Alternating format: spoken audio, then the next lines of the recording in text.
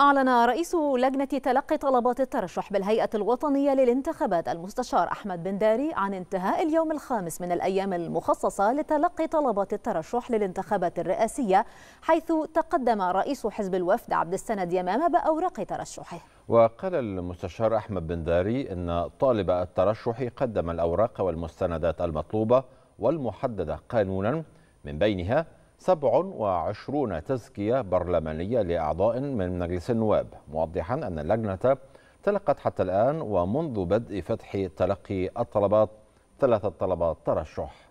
آخر اليوم والنهاردة على الساعة واحدة ونص حضر السيد حضر السيد عبد السند حسن محمد يمامة وشهرته عبد السند يمامة وقدم طلب الترشح. ومرفق فيه المستندات المطلوبة مع طلب الترشح وده نهاية اليوم الخامس. ويبقى النهاردة كده تقدم ثلاث أشخاص لطلب الترشح لمنصب رئيس الجمهورية لانتخابات 2024 واللجنة ما زالت منعقدة حتى يوم 14 10 لغاية حتى الساعة 2 مساء وفقا للجدول الزمني اللي تم إعلانه من مجلس إدارة الهيئة الوطنية للانتخابات.